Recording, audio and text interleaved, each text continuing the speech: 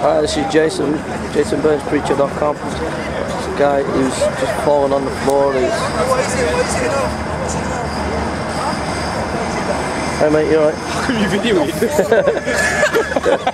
I remember you. You I- I was the do- one that had an argument with that Muslim guy. I guy. do street preaching, but sometimes this guy's I, I film I film uh, cultural life in Manchester. Yeah. this is part Yo, of cultural sick, life. man. He was arguing with this Muslim guy, yeah, and he used the Quran against him. Did you? It was sick, man. I was there just watching it. Yeah, was you there? Yeah. Yeah, I was there.